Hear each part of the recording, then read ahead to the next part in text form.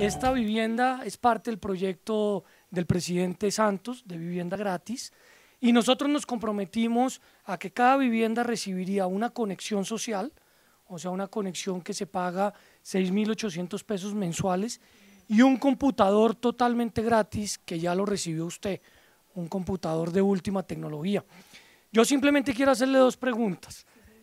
¿Por qué razón la tecnología le ha ayudado a confeccionar una parte muy importante de estos zapatos?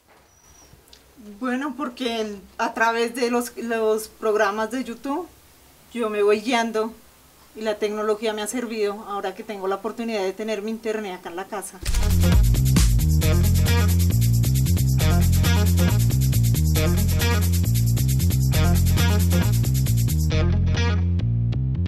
Lo que vamos a hacer en Antioquia es algo histórico.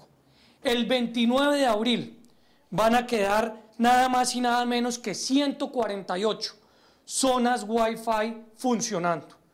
Esta misma tarde prendemos la primera en la ciudad de Medellín.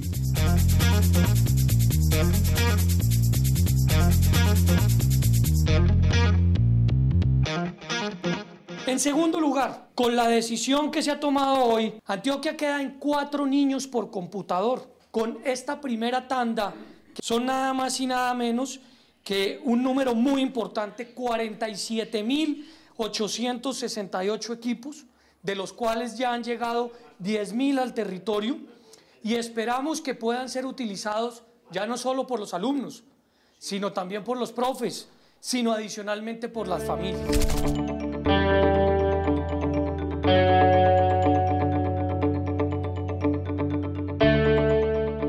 Ponemos en marcha un punto ViveLab, que no es nada distinto a un laboratorio de entrenamiento y de emprendimiento, un laboratorio donde se tendrá la posibilidad no solo de crear, sino de hacer muy importantes negocios.